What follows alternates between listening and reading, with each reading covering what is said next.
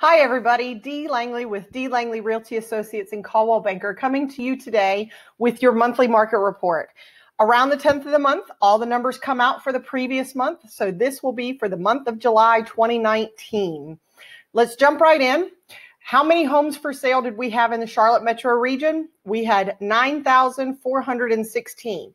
We're at least holding steady. We had an increase of about nine homes, not a huge amount, but I'll take it any increase is better. It's going in the right direction. All right. So how many days on market are these homes staying? We are looking at 38 days on the market. This went down by two days from June. This is for July 2019. All right. So our month supply, our month supply did not change because we didn't have much of a difference between the months in relation to how many homes we had. So we still have a 2.3 month supply. An average month is 25,000 homes in our 17 county region. And you can see we're at 9,400. That's a third. And a balanced month would be uh, six months supply. So again, we're at a third. So we need listings. We are all scrounging for listings. We are trying to uh, appease the buyer market. New construction can't keep up with the demand. We are doing everything we can.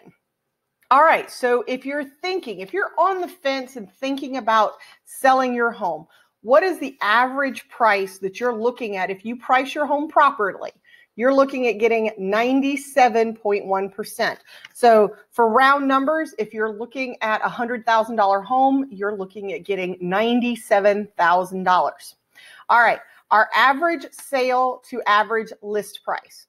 Our average sale, or excuse me, our average list price is $321,673. Our average sale price is 313 281. Now, we don't typically see home, uh, the list uh, the list and sale price this close together. We're only $8,000 apart. That is phenomenal. But that means that everybody is listing their homes and they're getting almost what they're asking for. And some folks are getting over. All right. The last tidbit is our average rent.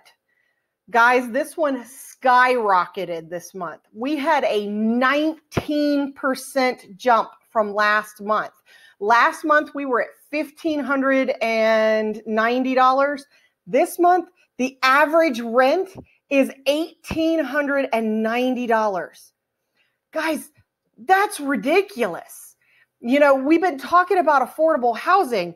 That is not affordable for most folks just know that if you're spending $1,800 a month on your rent, you can buy for much less than this.